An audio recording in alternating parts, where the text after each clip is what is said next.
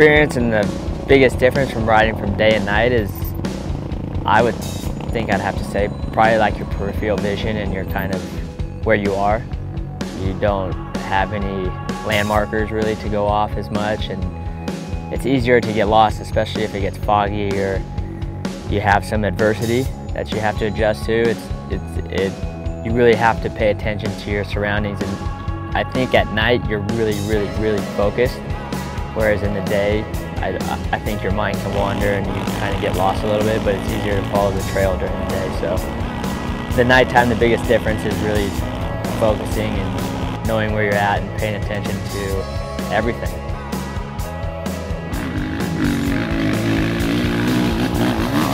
Nighttime's crazy. It's uh, the bushes look like animals. It looks like you're kind of getting attacked. You, your mind plays games on you, and uh, I don't know. It's fun, and everything seems a lot faster. And in the end, you're usually going a little bit slower than the day.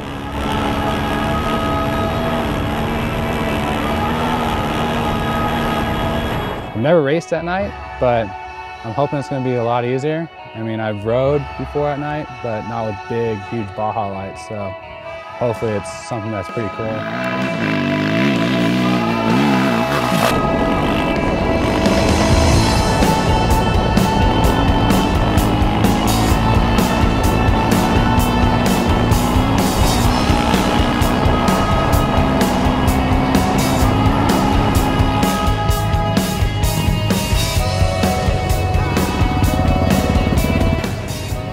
Shaking a little bit, but it's, it's like you can see everything.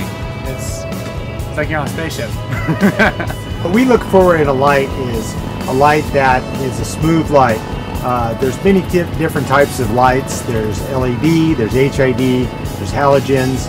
Uh, primarily, uh, a lot of the lights, some of the lights nowadays have, they're really bright, but um, they cause hot spots. So what we look for in a light is the quality of smoothness across the board so that it picks out the deviations like how the depth of the holes, depth of a whoop, um, uphill, downhill, it's all very smooth and very much the same.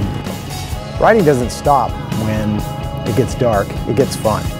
You're going through pitch black darkness down in Baja and all your whole world is what your lights are. You don't have any outside distractions. You have like a hyper focus. It creates a, a whole nother level of excitement. You may ride the same section over and over during the day and get bored of it. You ride it once at night, it's like a whole new section.